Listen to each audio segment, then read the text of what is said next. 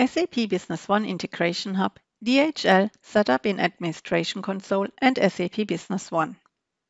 We would like to give you an overview on how to set up DHL in the Administration Console and in SAP Business One, including the topics DHL template selection, connectivity setup, deployment in the Administration Console, and verification of the DHL feature activation, shipping carrier settings, and package type setup in SAP Business One. To set up the DHL template in the Administration Console, click on the plus icon for a specific customer. In the list of application templates supported by the Integration Hub, select the DHL template. By default, the template name is My DHL template by clicking on the Edit button, you can edit the template name. This is necessary when using a template several times for different companies in the same SLD category. To start the configuration of the connectivity settings, choose the Let's Start button.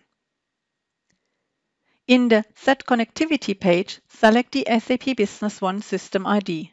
The drop-down displays all SAP Business One SLDs available in this specific SLD category select the appropriate SLD. To edit the SLD details, click on the Edit button. Test the connection by clicking on the Test Connection button. To set up the DHL ID, click on the Edit button. Enter the system name, select the environment, enter the site ID, password and account number for DHL. Save the settings and test the connection.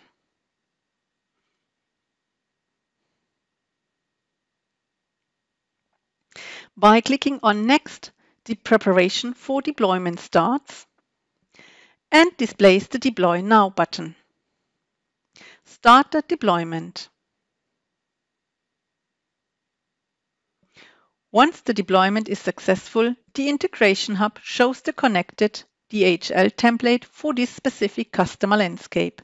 Click on Choose a template to verify whether the DHL template is tagged in green. To verify the DHL feature activation in SAP Business One, log in to SAP Business One. The connection confirmation message is shown. The first time after the deployment of DHL, the DHL database script is executed. After successful execution, a restart of SAP Business One is necessary. After logging in again to SAP Business One, in the window Feature Activation, the application DHL is set as active. To finalize the setup of DHL in SAP Business One, go to the window Shipping Carrier Settings. Select the default freight for shipping from the list of freight components in the address field mapping area, map the address line components for line 1, 2, and 3.